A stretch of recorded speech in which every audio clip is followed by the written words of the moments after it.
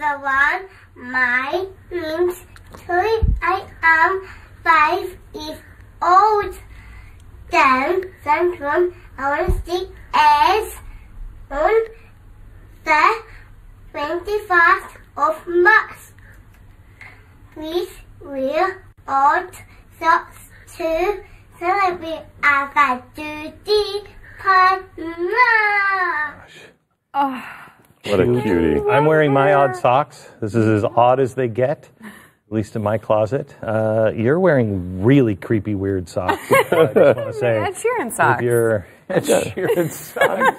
I've got my MacWeldon.com socks on. okay, stop, stop selling if they do a something. MacWeldon.com. You go there. My gosh. um, hi, Hi, how are you? I'm assuming that your top story is going to be uh, Down Syndrome Awareness Day. Uh, yeah, Yeah. yeah. Okay. And I actually have a, I have a good story on it. Okay, good. Uh, yes, uh, I'm kind of related to that. I mean, uh, you know, we've been talking about it's, t- it's tightly related to the pro-life issue as we've been talking about the past few weeks, and I wanted to talk about where that has gone in the Democrat Party. Okay. Pat? I'm going to talk about the erosion of our rights. The discrimination and oppression of silicon based women. Gosh.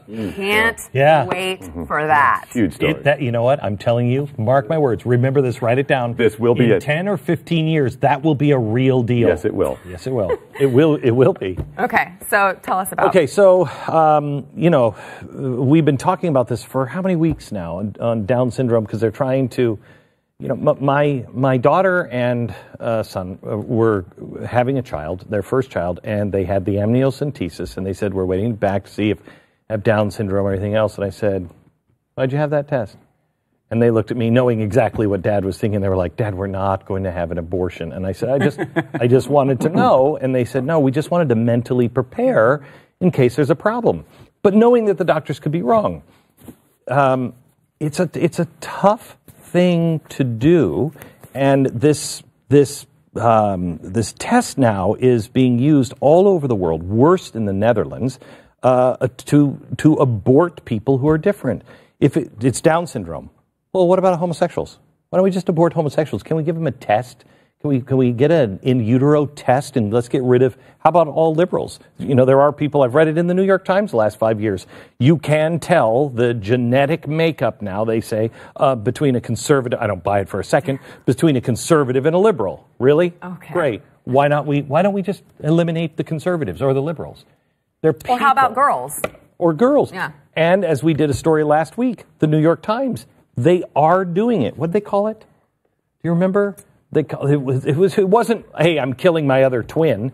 It was sing, uh, Singleton. Oh, Singleton. Yes. yes. Singleton. Singleton. Um, and the- you know, Twins to, to a to one. singleton, and you choose. I wanted this this particular person. It was in the paper. Wanted to have. I think it was a boy because they already had a girl, or vice versa. It's wrong. Today we had this wonderful, wonderful um, uh, person on from that had down that has Down syndrome. She has she she swam the English Channel. She swam uh, Lake Tahoe.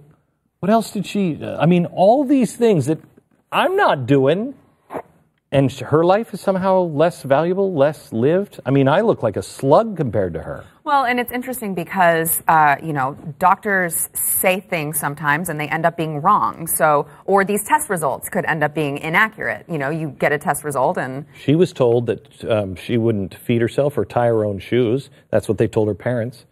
She's she's, uh, she's swimming the English Channel. That's obviously important. This test could be wrong, and, and you know, but like, is that imp- is that really vital to this conversation? Whether whether they're right about Down syndrome or not doesn't mean you get to kill the thing. Right. Uh, it's like this is like a weird line we have. We just treat it as this like little throwaway item that you can kind of chuck away if it's not exactly what you want. And it's and the reason why this is such a um, such a bright line for me is if we cross this line, there's no coming back from the darkness that we're going to enter, because this this is this is the hardest line t- to cross. These are children that we all see and adore.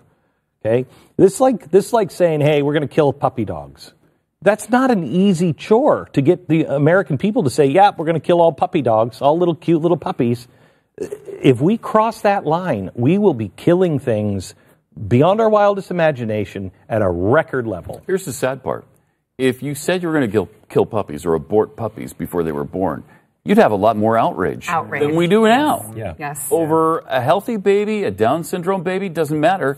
The, pu- the outrage would be greater with a puppy. And standards change, right? I mean, and there was a time not all that long ago that people would have wanted to eliminate gay children, that they Oh, would have wanted to eliminate minorities, they would have wanted to eliminate women, right? Like, I mean, Look at look, look at Margaret China; they're doing it right now. They're they're they they are getting rid of uh, babies depending on their sex. Look at look at Kennedy's. The Kennedys. What was his name? Joe. The, Yeah, and the Rose- drug- Mhm. Is and Rose Rose. the- Do you know how that, that story happened? is It's horrific. horrific. If you, it's he he ta he had a child who may have been Downs. I know that there was some sort of in the day yeah, mental yeah. retardation, and he told everybody in the family loved her, loved her.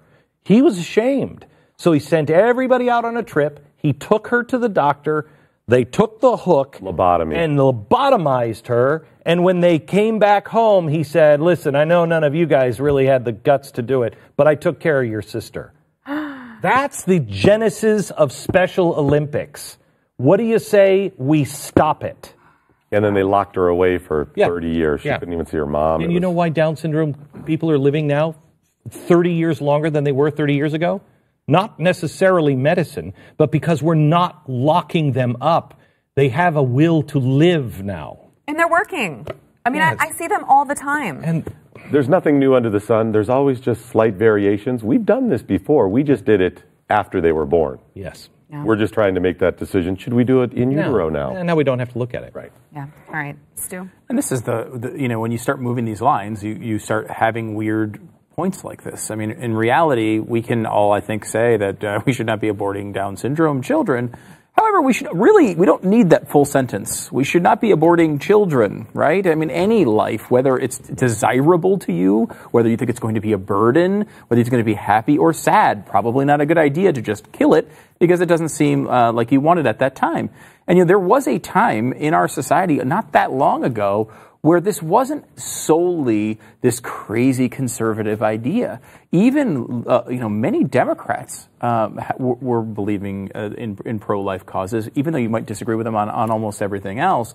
And you know that has really changed. I mean, we now see a really extremist party uh, on on the left. I mean, look at this. So extreme. Look at this chart. This is pretty amazing. Party of death. In the in the House, anti-abortion uh, Democrats in the House in 1978, there was 125 of them. That's an incredible number. Uh, you know, a couple decades later, it dropped to 70. 2007, and it dropped to 32. Now three. And Dan Lipinski, if you see there on the tweet, uh, did wind up winning. So there are three left. Three pro-life Democrats in the entire House. I mean, that is And they are being shamed.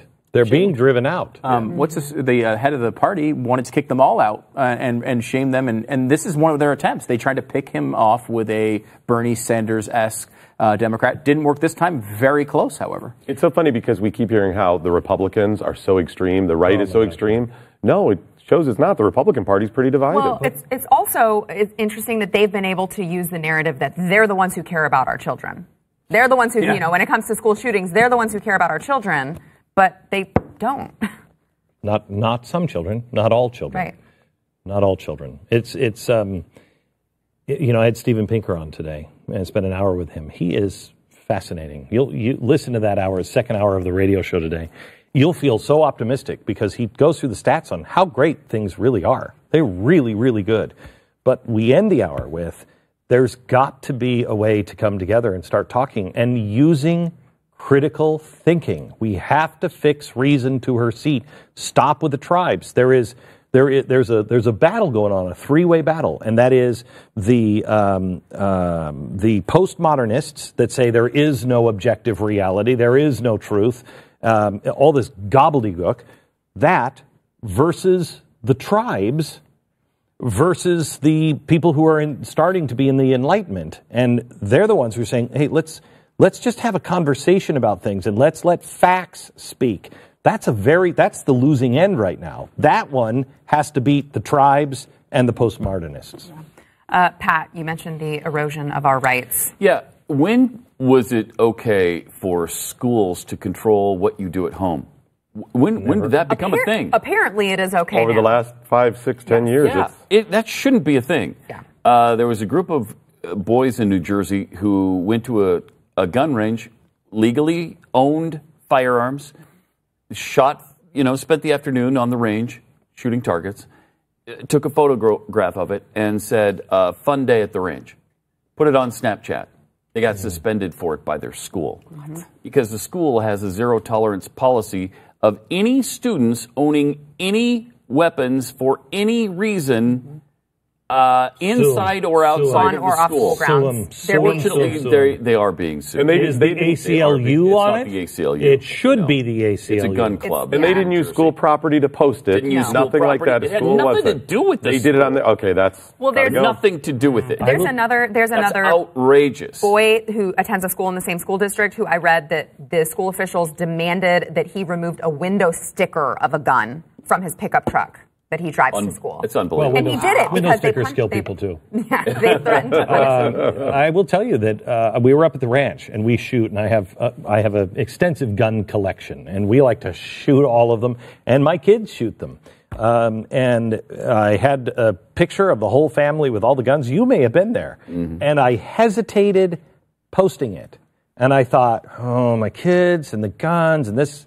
What the hell is wrong with you? Post. I mean, constitutional right. Yes. You can't, you can't put Yes. a photograph up on it. I, come on. So to be clear, you have a cache of weapons. Is that right? You're No, he stockpiling used them. them to get rid of those. No, they were stolen. Yeah, I think. yeah, We yeah. never really found out what I happened. gave mine to, them the military. Yeah, they're all gone. The budget cutbacks. You're talking the uh, weapons You know of what? war? I'm going to help out. The weapons Yeah. of war I gave to the war people. All right, I hesitate to even ask. That's shocking, Sili- Sarah. Being a woman, you should appreciate lives this. matter. Why? A brothel in Paris that just has dolls, plastic silicone dolls. You come in, you pay their money, you pay your money, you spend some time with the silicone doll. Is being shut down, and people are outraged because um, it's rape culture. It's rape culture of the, plastic doll. Yes. That is Various people have Because spoken. you didn't get the permission of the doll. Yes, they didn't say yes no. every step of the way. No, exactly. no, that's not what it is. It's not what it is. It, it's a little It's bit a of that. little bit a of little bit of that. not- uh, no, not all they that. say it's There is teaching a- rape culture. It's teaching rape culture. Um, there, the big one is not the adult plastic dolls, but the children plastic dolls. They're trying to say to the to the Japanese who are making these robotic people, right. Don't make children because you are. And there's a Playing into argument. pedophiles. Does the pedophile can he just enjoy that, or is that teaching the pedophile and giving? What the But see- but this is what we're The, going bro- to. the brothel, though, is specifically the three fully grown Women. Women. representative fu- three fully grown women. But a feminist in Paris was all about it and saying this is teaching rape culture, whatever. I say, how dare you assume she doesn't want to work as a plastic silicone based What do you think she needs to be in the kitchen? Essentially, Yeah. Maybe she wa right. That's what I'm saying. How dare you? I went to Sweden. I'm not kidding you. They have a shield. How long has Sweden been around? Look it up. How many hundreds of years has Sweden been around? The shield of the king and queen of Sweden, been there forever, has two majestic lions holding the shield, okay? Feminists got a hold of this, and I am not kidding you. Look it up. They demanded, and the and the state did it. They chiseled the nuts off of the lions. okay, so if you look up on all of it, they took them off. I mean, somebody sit there with a chisel and took them off. What'd you do at work today, honey? This is a really great Same time to take a break. We'll be back. It's true. It's true. so crazy. It's crazy.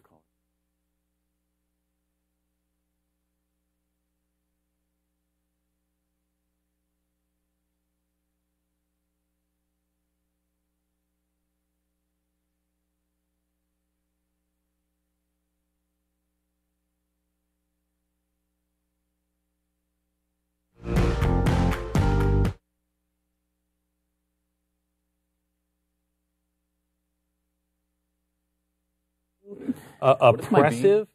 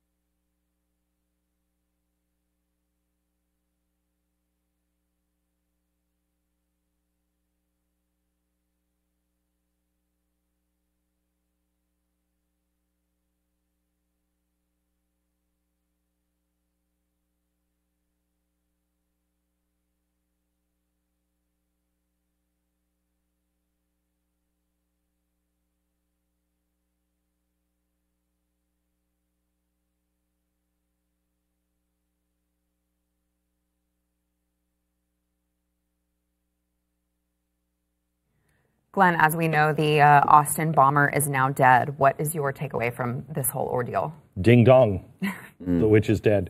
Um, uh, here's a guy that, um, thank God, made a mistake of being caught on camera. He decided to change his MO. If he wouldn't have, we still probably wouldn't have him in custody. Changed his MO. He went into like a you know FedEx store. is like, hey, I want FedEx's package. If it's ticking, don't shake it too hard until I leave. They went back. They saw him on the camera. They saw his car on the camera. They were. They went to his house to get him. He blew himself up. I assumed this was going to be around 20 years. I thought he was just going to keep going. They weren't going to catch him because we've had a precedent with the Right. Unabomber, the Mad Bomber. Yeah, Yeah, and you know it's interesting is the Unabomber did last all that time. 17. and and he was a you know uh, a, uh Berkeley professor uh, and just whacked out of his mind. This kid's 24. Yeah. 24. And they're, they are warning that they're not sure if he mailed any other Yeah. packages, so people should stay on the lookout for that. All right, Stu, a lot of people are talking about President Trump congratulating Putin on his victory in Russia, but there's some other things going on in Russia right now.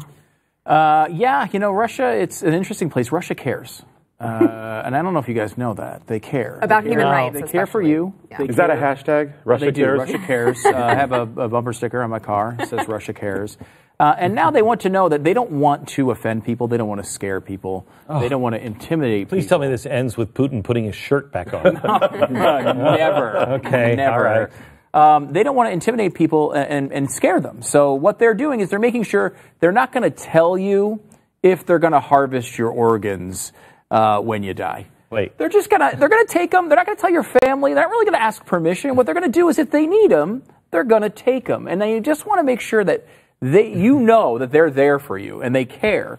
And uh, this is actually legitimately what they're doing. And I was proud to bring a, uh, another organ harvesting story. I think I'm the only other person on the network who's been able to bring that to you. I know you. This, this is usually your you. beat, uh, but uh, yeah, no, they. But yeah, they actually legitimately are saying they're acting as if this is some caring thing for the people. We don't want to scare you with the thoughts of your organs going away when you die. So we'll just take them if we need them. And they, they actually said it is simply inhumane to ask family members about organ removal almost simultaneously with notification of the death. Really of their loved thoughtful of them. Yes. Well, you know what? It- that's one thing that makes America different. Y- you are a human with certain rights. Your body is yours. Mm-hmm. Over there, they've never had that. They don't understand that. They, they I bet they're probably not freaked out by this.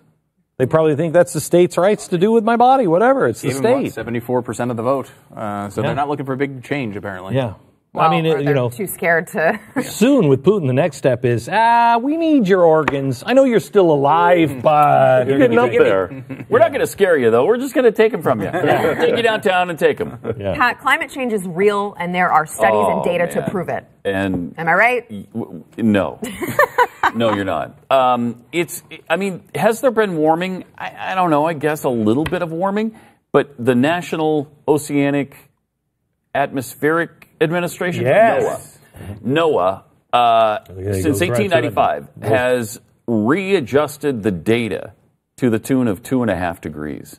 So they have gone back, not that it was warmer in 1943, but they've just gone back and they made it cooler in 1943 so that it looks warmer now.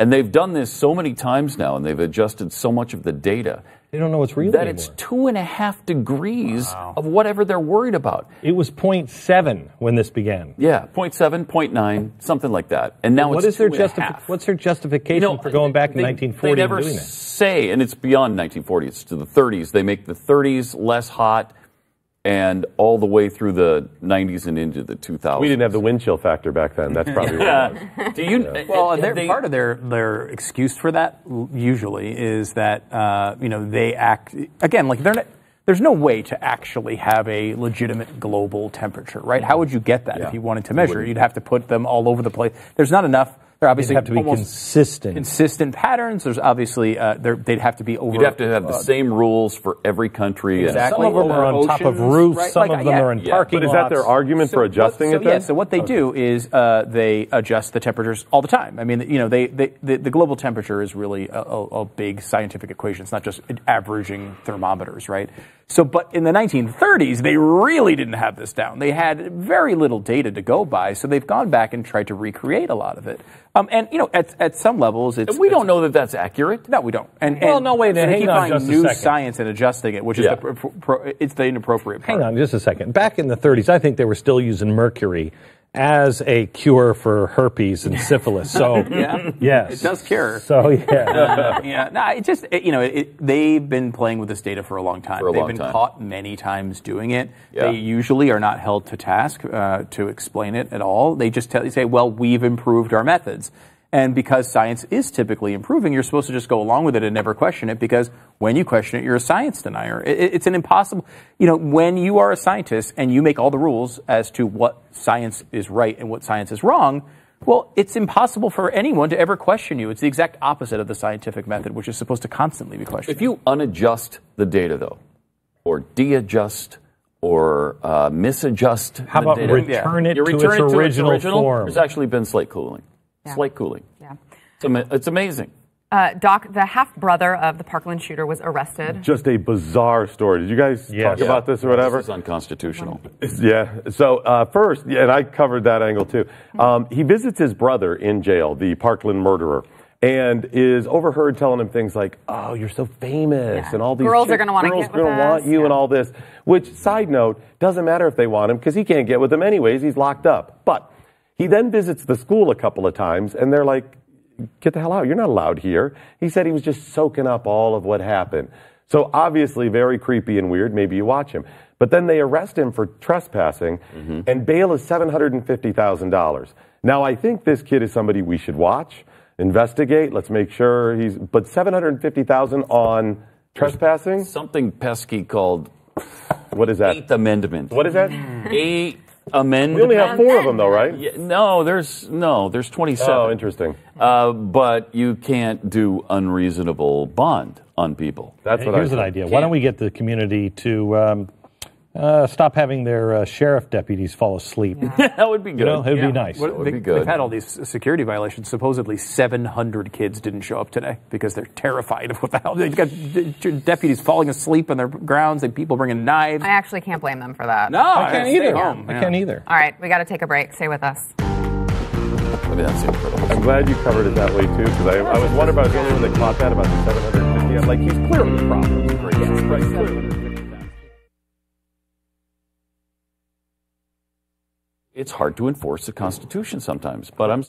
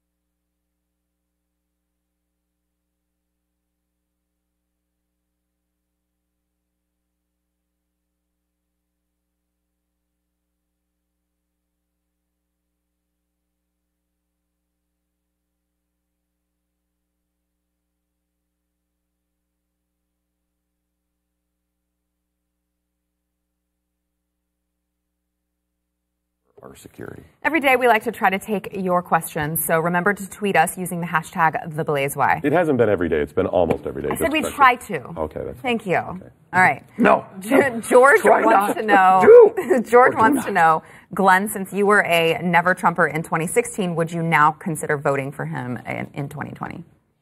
Uh, I'd consider on his. Uh, I'd consider on his record so far. I want to see what he's doing.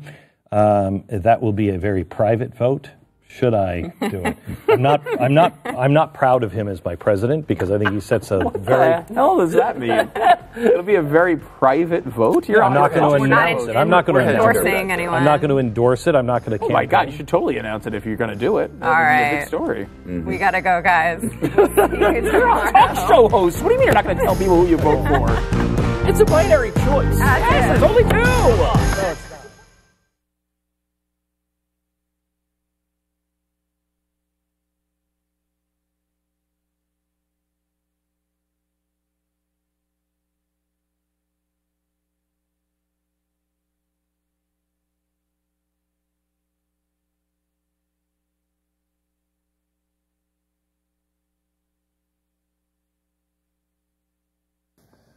Hi. Hi. Are you in a lot of pain? Me too. Uh, most, I mean, again, I think most people who were the founding of the country, they weren't brave. They wanted an end.